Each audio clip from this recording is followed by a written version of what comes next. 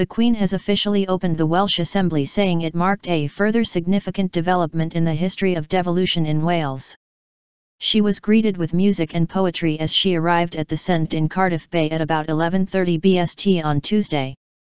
The Only Boys Aloud choir, harpist Anne Denholm and the National Youth Choir of Wales were among the performers. First Minister Carwyn Jones said all AMS had a duty to work together to deliver for the people we serve.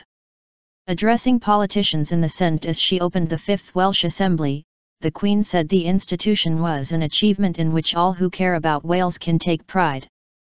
Your responsibilities are great and the expectations are high, but I have no doubt you will continue to succeed as you discharge these new duties, she said. I wish you every success as you prepare to meet the challenges of these constitutional changes, and to help realize the potential of the Assembly for future generations. First Minister Carwyn Jones emphasized that no single party had a majority in the Assembly chamber. No individual has a monopoly on good ideas and no person should feel excluded from outwork, he said. It's required of us all, a duty, to be true to our values and to respect the mandate on which we were elected but ultimately to work together. To discuss, to compromise, and to act in a respectful way that allows us all, collectively, to deliver for the people we serve. The Duke of Edinburgh, the Prince of Wales and the Duchess of Cornwall also attended the royal opening. Children and young people from a range of schools and organisations across Wales gathered on the steps of the Senedd to welcome them.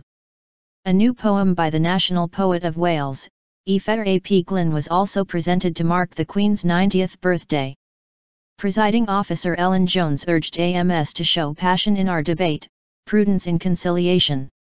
We have been elected by the people of this country, and we commit to being their voice and to providing the standard of service and leadership they deserve and demand of us, she added.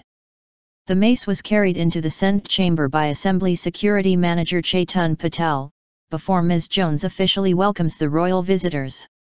A large screen outside the Senedd relayed proceedings to members of the public, who were invited inside for free Welsh cakes and tours of the building after the ceremony. Prince Charles and the Duchess of Cornwall later attended a reception with AMS at the Wales Millennium Centre, and viewed the field of poppies outside its entrance which commemorates soldiers who died in World War I. The Queen and the Duke of Edinburgh also opened a new £44 million brain research centre at Cardiff University.